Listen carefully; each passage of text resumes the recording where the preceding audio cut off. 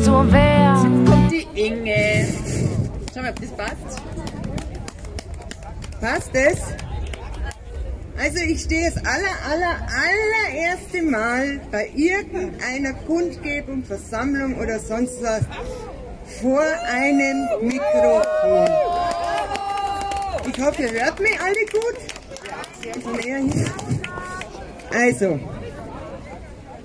ähm, zum Thema Impfen noch ganz kurz, was ich, heu, also, was ich jetzt die letzten Tage recherchiert habe und was ich auch glaube, was bei uns der Fall sein wird.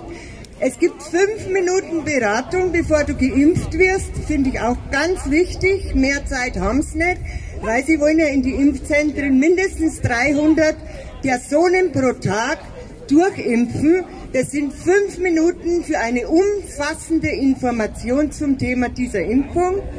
Und zweitens, es ist so, dass ihr alle einen Haftungsausschluss unterschreiben müsst, bevor man euch impft. Ihr könnt, wenn es Spätschäden gibt, niemanden in die Haft nehmen. Ihr, nur zum drüber nachdenken für alle, die außen stehen. Dann habe ich ein Thema zur Mechthild. Mechthild, du bist halt ein ganz ein blödes Einzelschicksal, wenn du stirbst, weil du Maske trägst. Das darf ich sagen, weil ich mag die Mechthild sehr gern. Ich habe mir drei Themen aufgeschrieben. Das nächste Thema ist, ich hoffe, ich darf jetzt weggehen von der Impfung. Das nächste Thema ist Altenheime. Mein Schwiegervater ist in einem Altenheim. Der durfte während der ganzen Zeit, seit es Corona gibt, am Anfang die Leute, also seine Besucher, egal wie viele, draußen besuchen und mit ihnen spazieren gehen oder Kaffee trinken oder sowas, ja. Nur nicht in, im Heim. Es gibt gibt und gab in diesem Altenheim bis heute keine Infektion durch Corona. Der Herr Bogner, der Oberste von dem Altenheim, den finde ich total toll. Er passt auf, aber er lässt die Leute trotzdem leben.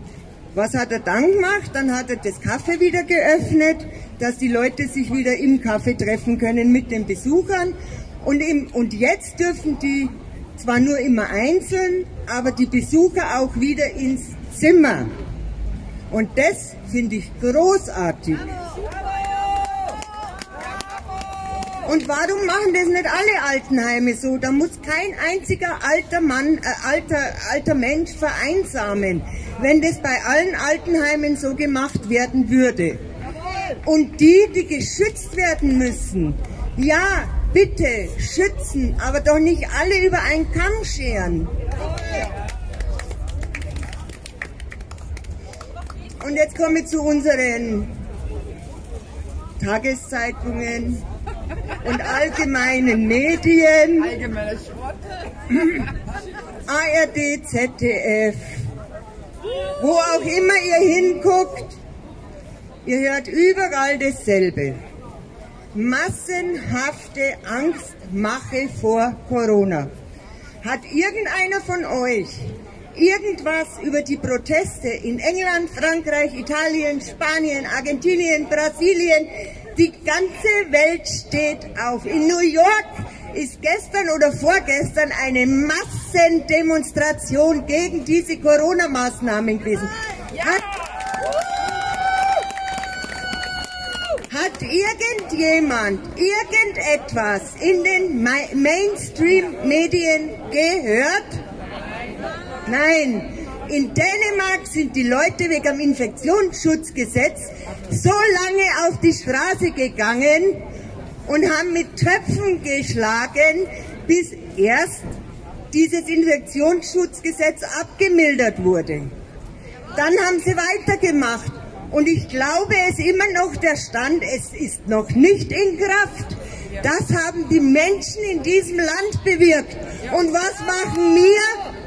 Wir gehen einkaufen, weil es so schön ist, Ja, wir müssen uns ja auch nicht beschäftigen. Wir sehen ja auch jeden Tag, Deutschland sucht den Superstar und anderen Scheißdreck.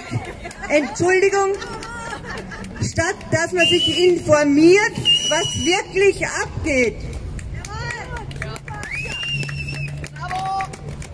Das war's. Okay.